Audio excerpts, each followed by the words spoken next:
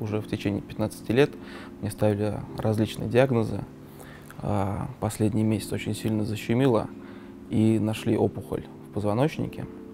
И когда об этом узнал мой начальник непосредственно, да, он сказал, что только, только сюда, на такую операцию, подтверждение, что это за опухоль доброкачественная, либо нет. Сегодня уже пятый день, чувствую себя ну, вполне нормально. Я думаю, для такого периода, да, еще мало времени прошло. Но я хожу, все хорошо.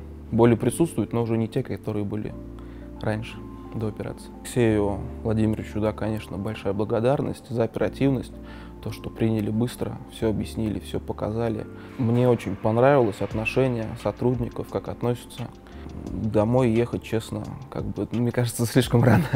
Можно было бы еще отдохнуть. Это как мал- маленький отпуск такой.